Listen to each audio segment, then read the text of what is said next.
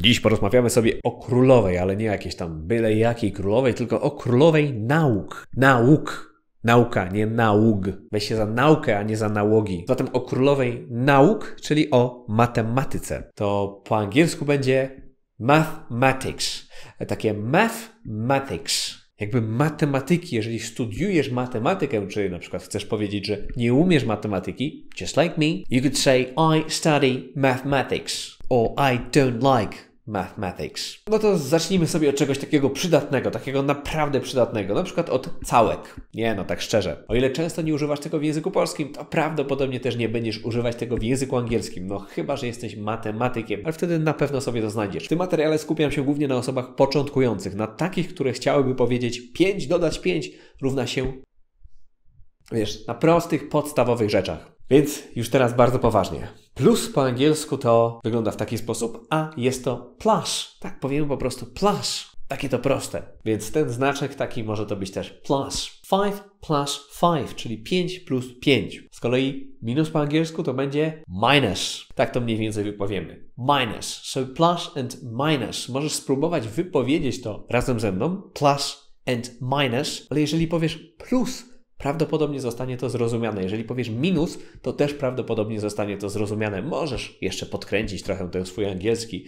And you could say plus and minus. Ok, wiemy już jak dodawać i odejmować. To teraz jak powiedzieć równa się. 5 plus 5 równa się. I tutaj warto znać takie fajne słowo jak equality. I różnie jest ono wymawiane. Ktoś może powiedzieć equality, tam jest wyraźne e, ale też spotkasz kogoś, kto wymówi to jako equality, czyli równość. Fajne słowo, takie XXI-wieczne, takie z XXI wieku, takie nowoczesne. Z kolei to równa się, żeby był ten wynik równania 5 plus 5, to będzie coś takiego. I tu znów dwie wymowy equals albo takie equals. Equals. Tam jest takie uals jakby.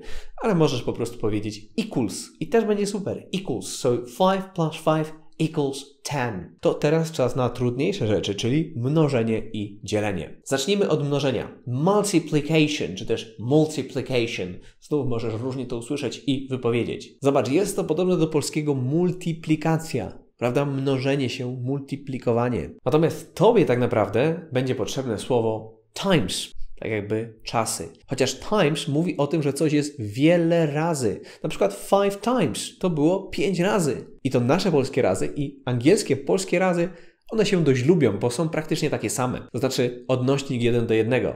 5 razy 5 to będzie 5 times 5. No i tu nam się zrobiło już trudniej. 5 times 5 equals 25.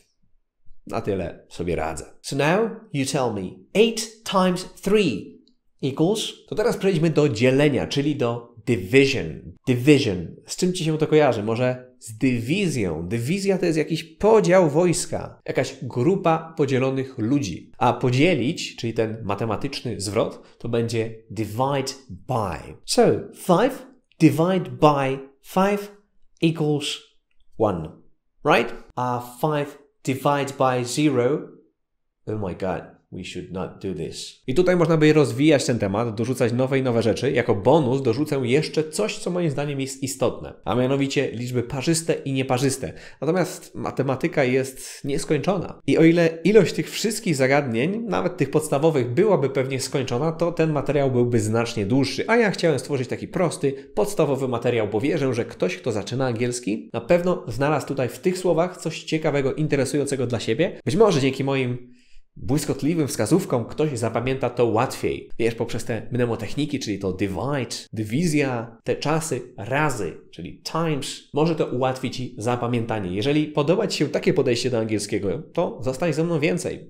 Zapraszam. Bo całkiem poważnie mam tego więcej, ponad 500 zwrotów podzielonych na 13 kategorii, do tego native speakerzy, do tego wiele bonusów, a wszystko to w pakiecie Enlinado. 500 zwrotów, jeżeli jeszcze z jakiejś przyczyny no, nie zdarzyło Ci się tego widzieć, nie mam pojęcia, na co czekasz. Jeżeli uczysz się angielskiego, jeżeli zaczynasz, koniecznie przetestuj to rozwiązanie, sprawdź prezentację i po prostu naucz się w końcu komunikować po angielsku, bo chyba to jest celem, nie zdawanie egzaminów, nie nauczenie się wszystkich czasów, wszystkich wyjątków od wyjątków, tylko prosta komunikacja z drugim człowiekiem, tak? Mam rację? Jako taką istotną rzecz, o której wcześniej wspomniałem, a którą mam wrażenie warto dodać, to liczby parzyste i nieparzyste. Zacznijmy od tych parzystych, czyli even numbers. Słowo even może oznaczać nawet, czyli coś tam nawet coś tam, dalsza część zdania. Podajmy to na przykładzie. I didn't even know, czyli nawet nie wiedziałem. Ale słowo even może też być przymiotnikiem i wtedy oznacza, hmm, może oznaczać kwita, może oznaczać, że coś jest wyrównane